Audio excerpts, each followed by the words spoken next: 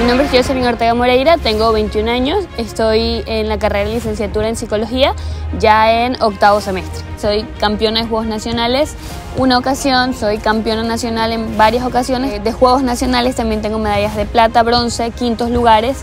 Y bueno, entre los logros que más resalto pues fueron Juegos Panamericanos del 2019 donde alcancé el bronce y ahora Campeonato del Mundo bronce también. Inicié a los 6 o 7 años y bueno, actualmente tengo 21. Pertenezco a la selección nacional, me gané el cupo hace aproximadamente 3 años, antes de pandemia. El llegar allá fue realmente un sueño cumplido, fue mi primer mundial y el primer mundial de muchos de mis compañeros de equipo. Las emociones eran muchísimas, más de 2.000 competidores, pero sabíamos que teníamos que hacerlo bien, ¿no? que era un evento para el que veníamos desde hace muchísimo tiempo atrás eh, preparándonos y sabíamos que estábamos listos para hacer pues lo que hicimos. La división de peso en la que yo competí fue en menos 47 kilogramos, que es la primera categoría en la división damas. Fue muy emocionante, bueno, un conjunto de emociones, es un resultado muy muy bueno alcanzar el podio a nivel mundial nos llenamos de lágrimas junto con mi entrenador, con mis compañeros de equipo, era algo que habíamos soñado desde hace muchísimo tiempo. Bueno, yo empecé hace muchísimos años ya eh, con la intención de aprender defensa personal, pero de a poquito se fue volviendo algo importante para mí.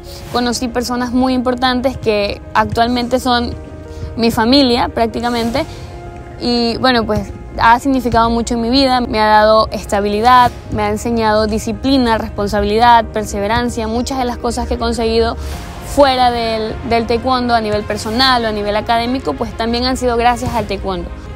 Para mí realmente significa mucho, es muy importante, de hecho no me veo sin hacer taekwondo o sin enseñar taekwondo.